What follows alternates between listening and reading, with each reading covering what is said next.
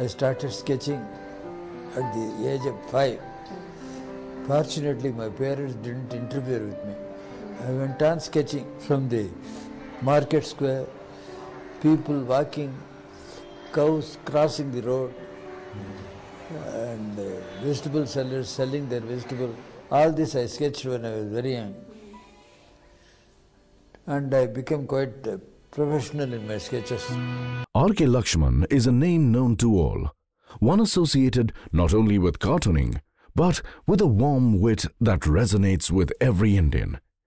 Younger brother to another Indian treasure, the novelist R.K. Narayan, Mr. Laxman started with cartooning in Mysore, illustrating for magazines such as Swaraj and Blitz, and illustrating his brother's stories for The Hindu.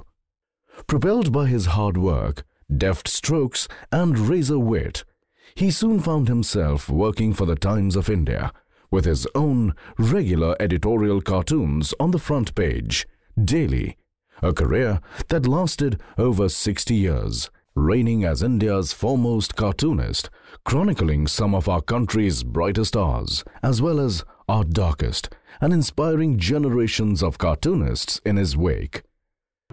I remember seeing him in the Illustrated Weekly in the in the 50s, and I was I was greatly impressed and you know, inspired by his work. And when I discovered that he was only in his in his 20s, I, I was absolutely dumbstruck. I said, "My God, look at this man! He's he's a genius." I could not have my morning tea without seeing Laxman's You Said It cartoon in the Times. इतनी habit हो गई उसकी It was impossible not to smile first thing in the morning when you saw that pocket cartoon because it reflected exactly what you and I felt. Mr. Laxman was once asked by a lady at a party how he manages to make a new cartoon every day, to which he replied, Madam, there aren't enough days. Despite suffering a stroke in 2003, that dealt a heavy blow to his health, Mr. Laxman was not stopped and in 2005 received the Padma Vibhushan for his services to the cultural and artistic development of India.